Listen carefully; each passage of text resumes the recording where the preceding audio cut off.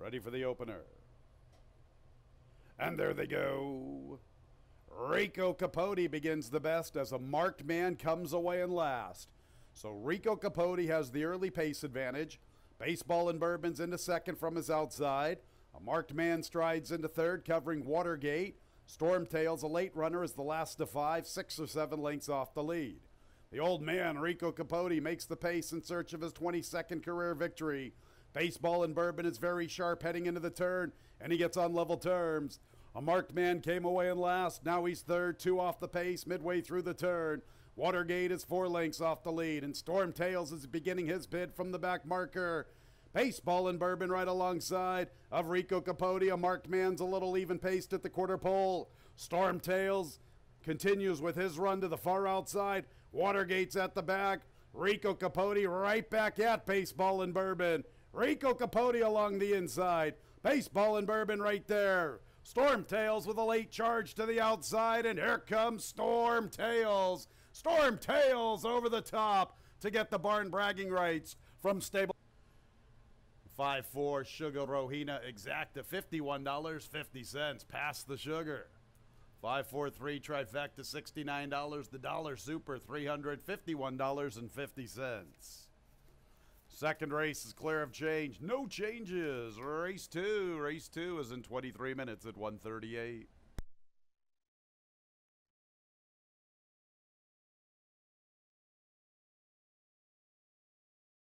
For today's second race. And there they go. You Want to Dance wins the start from the far outside. Diva Chick strides into second, inside of Trapes and Utopia. Trapper Jane has the fourth spot, then Mistretta with Mom's Law. So it's the big long shot. You Want to Dance making the pace all by herself from Diva Chick and Trapes in Utopia. Trapper Jane has the fourth position, four lengths off the lead, about a length and a half to Mistretta, who covers Mom's Law. Really no change here in the order, and no pressure has been applied to You Want to Dance, and she carves out a very soft opening quarter, 25 and one fifth. 24 to 1, the big long shot, all alone on an uncontested lead. Trapes and Utopia second, racing with Diva Chick. Trapper Jane and Mistretta are about four lengths off the lead, and they're about a length and a half in front of Mom's Law, guided to a three wide position. They race up the Finger Lakes backstretch. The half and 50 and three fifths. It's a pretty good tempo for You Want to Dance. Still maintaining a two length advantage to both Diva Chick and Trapes and Utopia. Trapper Jane, Mistretta, and Mom's Law are at the back marker. Three eights to travel. You Want to Dance still with the lead, but here comes the entire pack. Trapes in Utopia, Mistretta, Mom's Law. Along the rail, Diva Chick, Trapper Jane's at the back. You Want to Dance got away with very soft fractions. Really, no excuses for her. She's a big number. Can she spring this upset? She's trying to make every polo winning one at the top of the lane. And You Want to Dance has still not been collared. Diva Chick charging through along the inside. Trapper Jane after her. Mom's Law Mistretta farther out. You Want to Dance. Here's Diva Chick up the inside. Diva Chick. You Want to Dance. Diva Chick. Diva Chick from You Want to Dance. Three six exacta, one hundred sixty-seven dollars fifty cents. Three six two trifecta, one hundred eighty-eight dollars. The five three Kentucky bread Double, seventy-one dollars fifty cents. Three six two one one dollars. Super eight hundred thirty-seven dollars. And there they go. And Dosage Mimosas begins the best, and she has the lead from Nani Kani, Live Like Jay from the rail. Primetime Gal is fourth, Andromeda's Risk is the early trailer. The pace is pretty soft for a for a sprint, and on the front end, we have Dosage Mimosas, three parts of a length to Nani Kani. Andromeda's Risk is third, racing outside of Live Like Jay, and at the tail of the field races Primetime Gal. Indeed, it's very soft. 23 and 3 that opening quarter. Dosage Mimosas has the lead, half a length to Nani Kani. Andromeda's Risk is third.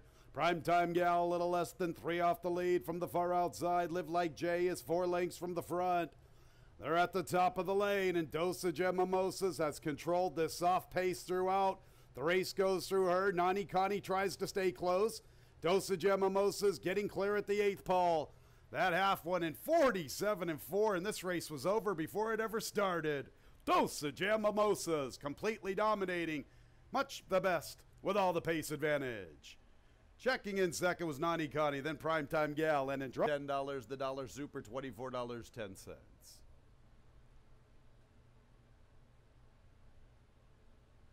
Three four double, eighteen dollars sixty cents. Five three four pick three, twenty-four dollars even.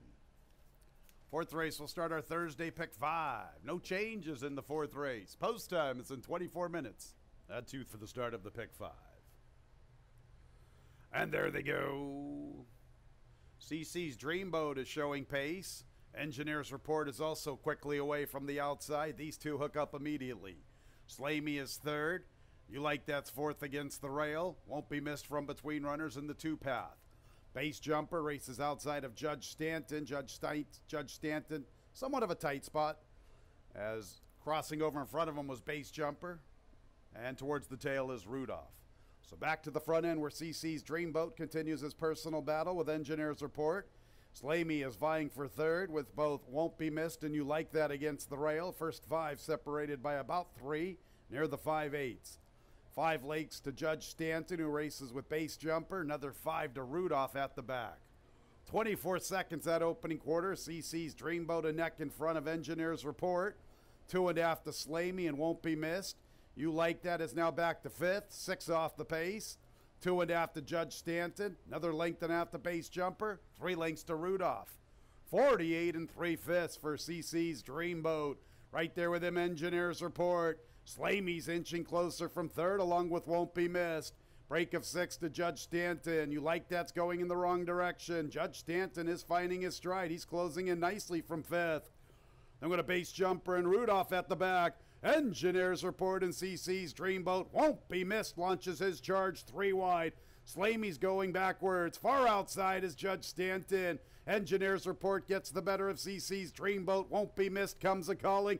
And base jumpers jumping out of the ground to the far outside. Won't be missed. Engineers report. Base jumper late on the scene. Won't be missed. Won't be missed from engineers report. Base jumper took off in the final furlong. He's up for third. 3-8 exacta, $28.80. 3-8-7 trifecta, $57.87. The dollar super, 3-8-7-5, $400 even. 4-3 double, $14.20. 3-4-3 pick 3, $22.50. 5 with 3, with 3-4 with 3. The early pick 4, $112. Ready for the start of our late pick 4. And there they go. Awkward beginning somewhat for scintillation. Saratoga by design begins the best. Her pace partner is Kabuki. Treat her like a star's in touch from the rail, now working into the two path. Scintillation is fourth. Kim is fifth. Gem Lover, a late runner, is the last of all. Kabuki's going to pick up the pace from Saratoga by design. Treat her like a star's in the third spot, three off the lead. More than five lengths to Scintillation. Half a length to Kim. Another six or seven to Gem Lover. Pretty strung out. The pace is pretty good. 23 and three fifths. Kabuki and Andy Hernandez get the lead from Saratoga by design with John Davila Jr. Treat her like a stars right there. She's only three off the lead at the five eights. Six or seven to Scintillation, a length to Kim. And it's a long ways back, maybe 10 or 11 to the trailer, who is Gem Lover. 47 and four fifths for the half. And here is Kabuki still with the lead, a length and a half. Saratoga by design continues to pursue. And Treat Her Like a Star is still up close from third. Now she's beginning her bid, gradually closing in. Two and a half off the lead at the 3 8. Kim has about five links to find with Scintillation. And it's about nine or ten back to Gem Lover. So they race to the quarter pole, and Kabuki still has the lead. But here comes Treat Her Like a Star. And Treat Her Like a Star is making a solid move for the top spot. And she's right alongside of Kabuki. Look at a Saratoga by design and looking for somebody from the back. It's Gem Lover rolling to the far outside. So Treat Her Like a Star is going to get first run on Gem Lover. Gem Lover is absolutely flying to the far outside, and here she is over the top. Gem Lover from last to first. Gem Lover, Kabuki fighting strongly. Gem Lover from Kabuki, then Scintillation.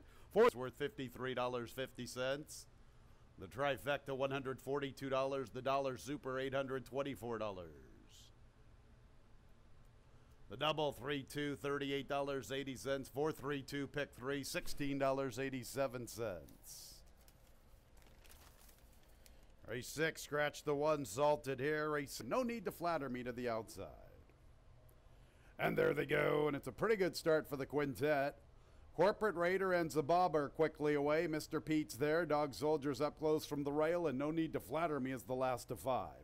Corporate Raider just a little quicker than Zababa, half a length. Dog Soldier is third, about a head in front of Mr. Pete from the outside, and it's almost two and a half or three to no need to flatter me.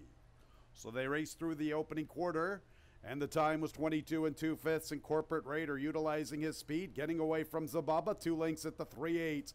Mr. Pete takes over third from Dog Soldier, three off the lead, and it's three and a half to no need to flatter me.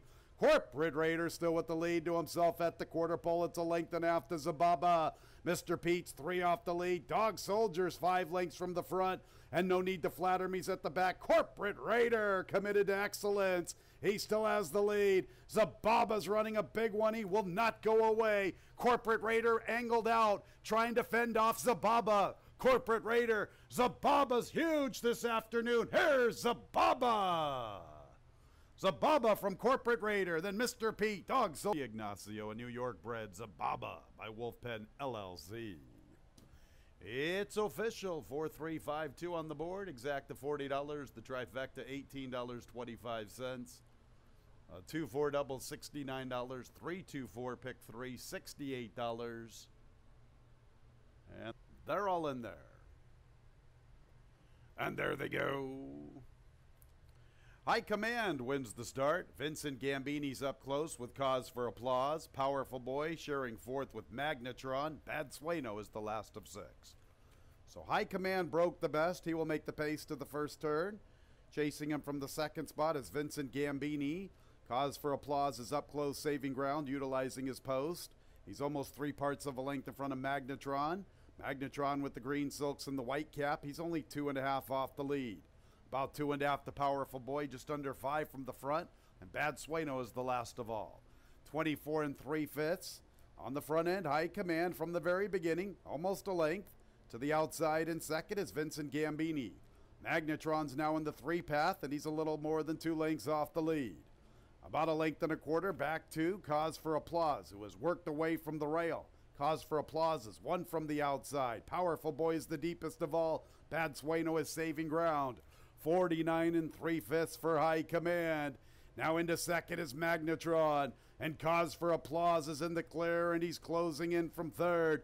Vincent Gambini's backpedaling. Bad Sueno and Powerful Boy advance inside and outside of him. And it's High Command still with the lead. High Command in command at the quarter pole. Magnetron is very close from second. Cause for Applause is third. Bad Sueno's trying to commence a bit up the inside.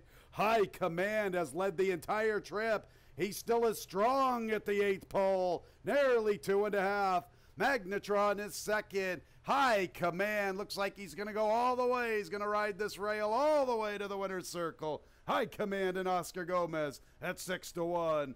From Magnetron, Bad Sueno, and Cause for Applause. The trifecta $95, the dollar super $660.50.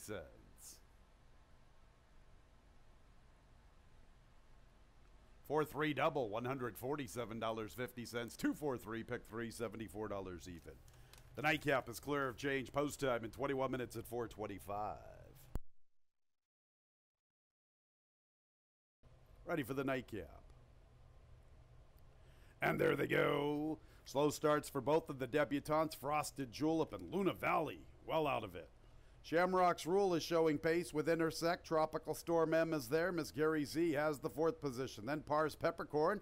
Frosted Julep makes a good recovery. She vies for fourth up the rail, now assumes that spot. Street Chamber, Green Silk, six lengths off the pace. About a length and a half to Very Stable Genius. And Luna Valley is at the back. And Intersect has found the front, and the pace is soft, and she looks tough here at the 3 8 through a 23 and 2 fifths working with nearly three lengths to Tropical Storm M. Street Chambers making a nice middle move into contention. Can she sustain this run? She is at the mercy of the pace.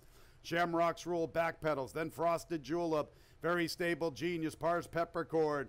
And Miss Gary Z, Luna Valley still at the back. Intersect, the one to come and get. Tropical Storm M gets within a length. Intersect and Tropical Storm M at the eighth pole. Street Chamber could not sustain her run. Intersect still with something left. To the outside is Tropical Storm M. They are right alongside of each other as they race to the wire. Here's Tropical Storm M.